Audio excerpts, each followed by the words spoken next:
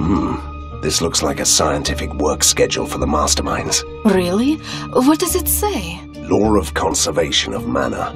Disproved. Ugh, boring. Stop reading. Existence of the Biggs-Hosen particle. Verified. Theory of binary reality. Confirmed. Boring! What else is on the list? Did they have any interesting projects? This one says, the answer to life, universe, and everything. It's ticked off, but there is only a number. What number? 42. Analysis conducted on the workings of the female brain.